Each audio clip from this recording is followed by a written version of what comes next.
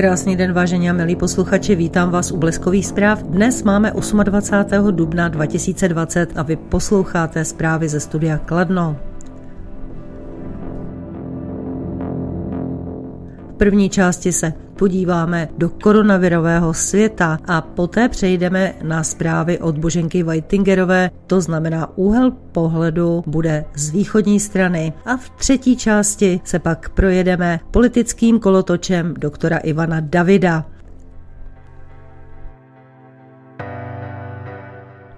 Jak to tedy vypadá ve světě s koronavirusem? Ve světě novým koronavirem onemocnělo více než 2,9 milionů lidí. Nákaza se nyní šíří hlavně ze Spojených států, Itálie a Španělska. V Číně naopak případů ubývá. Podívejme se na data za jednotlivé země, která průběžně zveřejňuje prestižní univerzita Johnse Hopkinse z města Baltimore v americkém státě Maryland. Takže se podíváme do světa, ale ještě předtím je zde statistika od nás z České republiky. Takže u nás je 7449 osob s prokázanou nákazou COVID-19. Zemřelo 223 lidí. Rovněž se dnes jedná o tom, zda bude prodloužený nouzový stav, pokud komunisté nebudou trvat na svém požadavku, aby tento stav byl pouze do 17. května, tak se možná dočkáme termínu 25. května. Nicméně ovšem se rozhoduje, takže uvidíme, jak dnešní hlasování skončí. A nyní se podíváme na 10 nejvíce postižených zemí. První zemí, která opravdu nejvíce trpí, jsou Spojené státy. Mají 988 197 potvrzených případů nákazy koronavirem a zemřelo zde 56 259 lidí. Druhé je Španělsko potvrzených případů 229 422 a zemřelo zde 23 521 lidí. Třetí Itálie 199 414 potvrzených případů na 26 977 lidí zemřelo. Francie je na čtvrtém místě. Je zde potvrzených případů 165 963 a zemřelo 23 327 lidí. Dále je páté Německo. Potvrzených případů 158 758 lidí, zemřelo 6 126 občanů. Na dalším místě je Velká Británie. 158 348 potvrzených případů, zemřelo 21 157 občanů. Za Velkou Británii je Turecko. Potvrzených případů je 112 261 a zemřelo 2900 lidí. Dále následuje Irán. 91 472 potvrzených případů a 5806 lidí zemřelo. Na devátém místě je Rusko. Je zde 87 147 potvrzených případů a zemřelo 794 lidí. Desáté místo zaujímá Čína. Je zde 83 918 potvrzených případů a 4 637 lidí zemřelo. Tak vypadá první desítka, následují další a další státy a Samozřejmě, že i pořadí se mění. Třeba Rusko se dostalo na deváté místo tím, že předskočilo Čínu. Takže budeme držet všem palce, aby ty počty byly co nejmenší a co největší případy uzdravených lidí.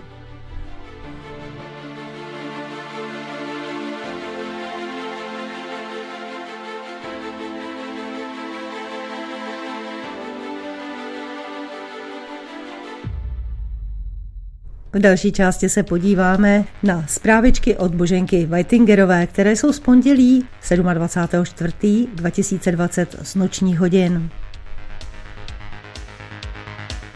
Ruské ministerstvo spravedlnosti odmítlo zvýšení pokut v novém administrativním zákonníku a přišlo s vlastními návrhy.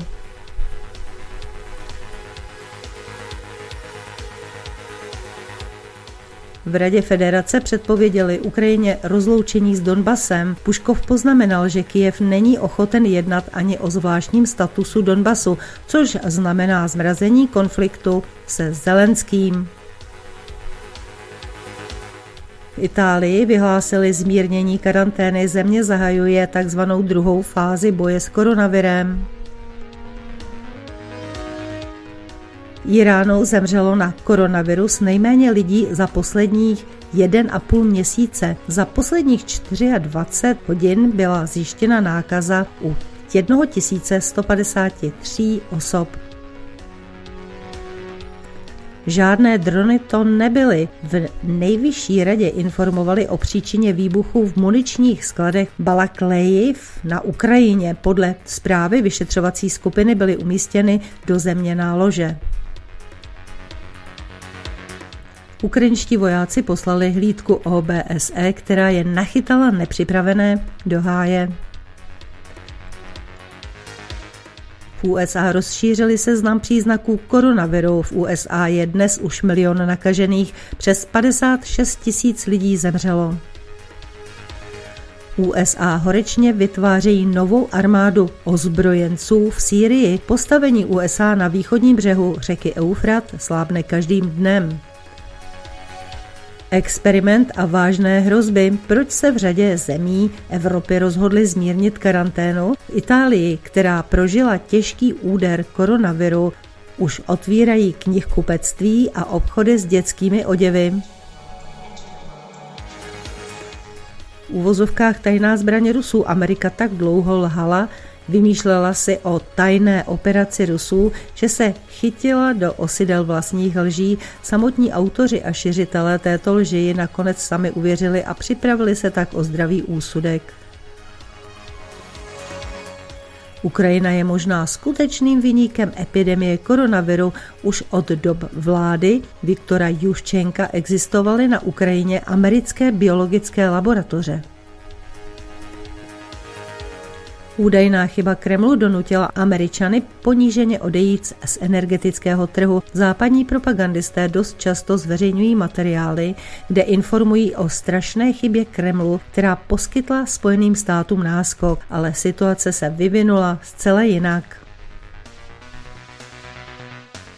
Rusko se dostalo mezi pět zemí s nejvyššími vojenskými výdaji. Je uvedeno 65 miliard dolarů. Největší vojenský rozpočet mají Spojené státy. 732 miliard dolarů, dále Čína. 261 miliard, Indie. 71 miliard dolarů, do pětice patří i Saudská Arábie. Nedávno Zemřelý v uvozovkách agent Kremlu Giulietto Chiesa znal Rusko lépe než kdokoliv jiný v Itálii. On Rusko nejen chápal, ale i miloval. Rusko očekává v létě vítězství nad koronavirem. Připomeňme, že vědci nedávno zveřejnili teploty, kdy je koronavirus obzvláště aktivní a kdy naopak jeho aktivita už výrazně klesá.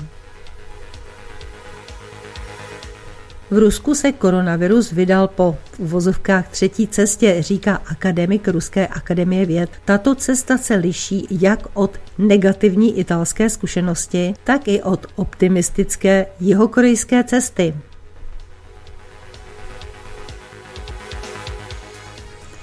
Po koronaviru přijdou záplavy, sucha a hlad. Prognózy na rok 2020 jsou čím dál chmurnější. Kremlu zveřejnili prognózu, kdy se epidemie v Rusku dostane na vrchol. Brzy se život vrátí do normálu a lidé si na koronavirus už ani nevzpomenou. a znova 6 tisíc nově nakažených v Rusku přetrvává relativně vysoké tempo přírůstku nemocných navzdory měsíci, který už uplynul od okamžiku zavedení režimu sebeizolace. Koronavirus na Ukrajině, stovky nových případů, nejvíce je nemocných v Černovické oblasti 1375, v Kijevě 1220 a v Ivano-Frankovské oblasti 761.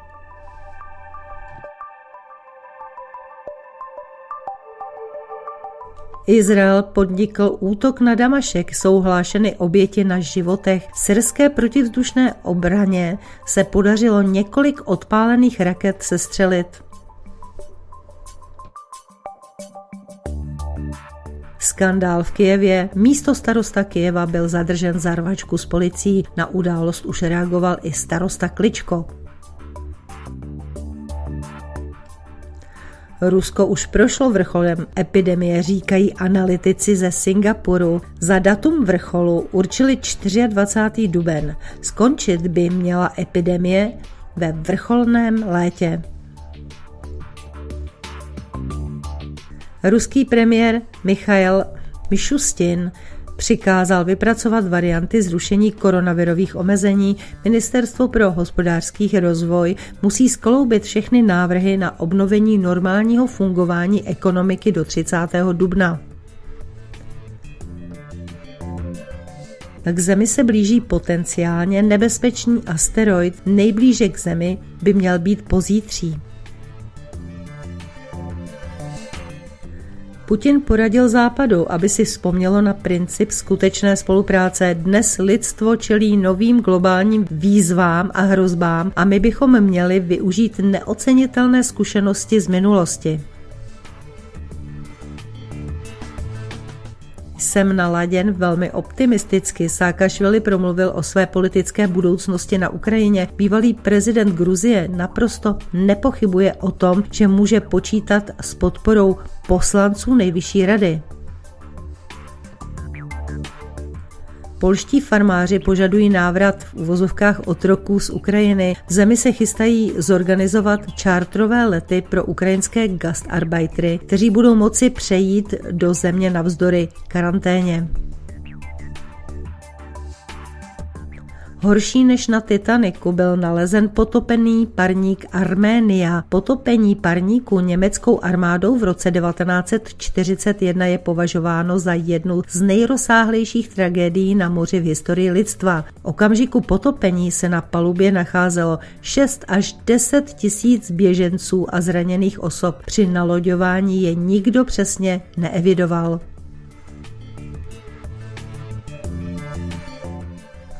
Tragická zákonitost a nový trend v Rusku znovu hoří Sibiř a Dálný východ. Ministr Ziničev označil situaci za kritickou a navrhl zpřísnění trestů pro žháře. Certifikáty a protokoly zdraví a zrušení v uvozovkách švédských stolů v tureckých hotelích. Turecko se chystá na opětovný příjem turistů. Koncem května se v Turecku začnou otevírat hotely. Zemi se těší na turisty a připravují turistický rezort na činnost s novými pravidly. Ve Španělsku byl zadržen Ukrajinec za únos místní redaktorky. Policie ve Španělsku zadržela v Barceloně občana Ukrajiny, který byl mezinárodně hledán. Flashmob v podmínkách karantény. Španělé zpívají píseň zpěváka Viktora Co je v ruštině. Ubohost a hloupost Zelenský děsí západ bankrotem Ukrajiny, opravdu důstojné přiznání rok po inauguraci. Tímto článkem Zelenský přiznává svou vlastní neschopnost zvítězit nad krizí. Karanténní hladomor. Zoufalí zemědělci na Ukrajině slibují, že zavalí Kyjev schnilou zeleninou. Ukrajinští farmáři pokračují v boji s karanténou. Další bitva se konala v Chersonské oblasti. V Rusku komentovali informace o přípravě atentátu na české politiky. Podle názoru diplomata je evidentní, že článek je pokračováním informační kampaně proti Rusku. Světová zdravotnická organizace prohlásila, že pandemie koronaviru je ještě daleko před koncem, informoval o tom generální ředitel organizace na tiskové konferenci.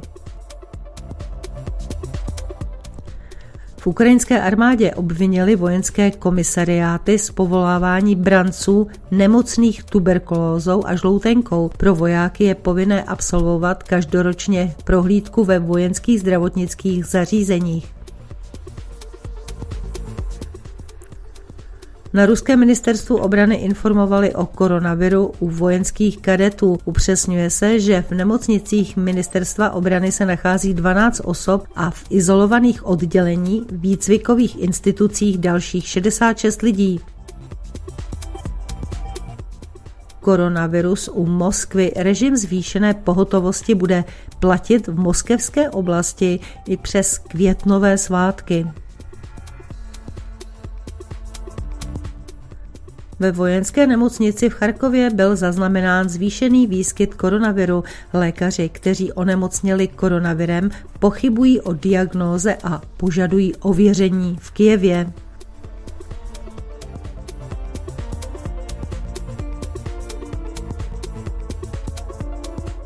Vážení posluchači, to byla poslední zpráva od Boženky Whitingerové a pokračujeme dál. Podíváme se na politický kolotoč doktora Ivana Davida.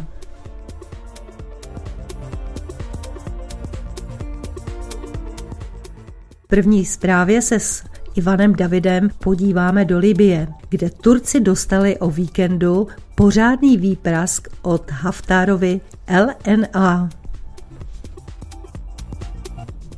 Turecká kontejnerová loď Gemlik přivezla v pátek džihadistickým milicím samozvaného premiéra Fajze Saráže velký náklad munice do těžkých zbraní. Lodím pod vlajkou Evropské unie které mají ve středozemním moři hlídkovat a zadržovat plavidla vezoucí zbraně a munici do Libie v rozporu s rezolucí Rady bezpečnosti OSN, turecká nákladní loď opět bez problémů unikla i když nejde o žádného drobečka, který by dokázal plout schovaný pod úrovní dosahu námořních radarů. Hlídky Evropské unie se opět raději dívali jinam. Džihadisté se však z nového dárečku od tureckého prezidenta Recepa Erdogana neradovali dlouho. Loď sice stihli přes víkend vyložit, náklad převést do bývalého hlavního města Tripolisu, dále na frontu však již munice nedojela. V neděli se dělostřelcům libijské národní armády, a to je ta LNA, které velí polní maršál Khalifa Haftar, podařilo při ostřelování letiště Mitiga u Tripolisu trefit i muniční sklad. Celá Erdoganova zásilka šla k nebi v podobě plamenů a kouře. Spolu s municí šly k čertu i nové drony, které Erdogan poslal tureckému expedičnímu sboru do Líbie náhradou za ty, o které Turci přišli v boji. Během víkendu jich ruské protiletadlové systémy Igla a Pancír ovládané Haftárovými vojáky poslali k zemi 10. Během dubna tak Libijci sestřelili Turkům celkem 60 dronů a nyní jim Haftárovci na zemi rozstříleli i ty, co je měli nahradit. Na tento víkend nebude turecký prezident Recep Erdogan vzpomínat rád. V sobotu se zbylé turecké stíhačky F-16 museli stáhnout z libijského nebe. LNA se podařilo plně rozvinout baterii protiletadlových raketových souprav Pancír S. Jedna z jeho raket hned po instalaci sestřelila pátou tureckou stíhačku zničenou v Libii. Turečtí piloti zjistili, že jsou ruským systémem zaměřováni už ve vzdálenosti, na kterou proti pancírům nejsou schopni střílet. Po dvou pro ně úspěšných agresích do kurdských oblastí Afrin a Rojava v severní Syrii, kde proti nim stál nepřítel bez těžkých zbraní, si Turci nyní vyzkoušeli, co to je bojovat s rovnoceně vybaveným protivníkem, že to je něco jiného než vraždění neozbrojených civilistů nebo bombardování vojáků vyzbrojených jen lehkými zbraněmi po v uvozovkách vymazání tureckého letectva z libijského nebe Haftárova armáda zatlačila zpět k Tripolisu i Sarážovi džihadisty, jimž velí turečtí důstojníci. Haftárovo těžké dělostřelectvo se opět dostalo na dostřel letecké základny Mitiga u Tripolisu, kde před měsícem začala turecko-džihadistická ofenzíva.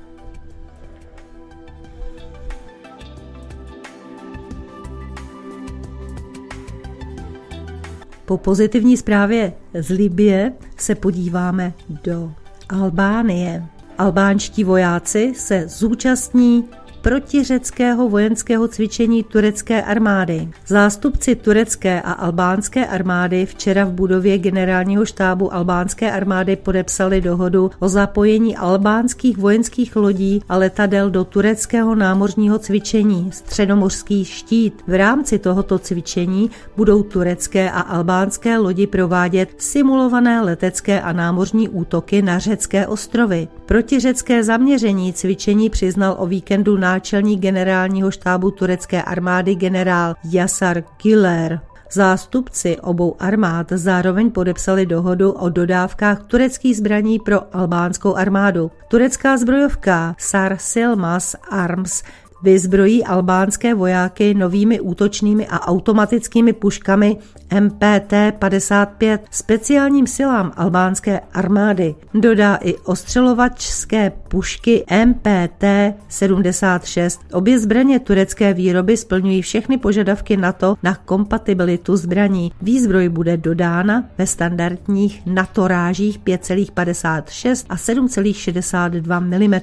Zbrojní kontrakt je řeckým serverem etnos.gr dáván do souvislosti s dohodou mezi vládami Turecka a Albánie o přesídlení 30 tisíc muslimských migrantů do oblastí na albánsko-řecké hranici. V této oblasti žije početná řecká menšina, kterou nyní albánské úřady šikanují s cílem přimět řeky k odchodu ze země. Řecký server vyslovil podezření, že nová výzbroj pro albánskou armádu spolu s migranty dodanými z Turecka mohou být použity k útoku na Řecko. Všechny tři země jsou sice členy NATO. V minulosti však již Turecko vedlo útočnou válku proti Řecku v roce 1974. Ano, v roce 1974 turecká armáda obsadila část Kypru a jsou tam de facto do dnešního dne. Vážení a milí posluchači, to byla poslední informace z dnešních bleskových zpráv. Ze studia Kladno se s vámi loučí Sonja Zikmundová a Martin Dukát. Přejeme vám příjemný poslech dalších pořadů a brzy naslyšenou.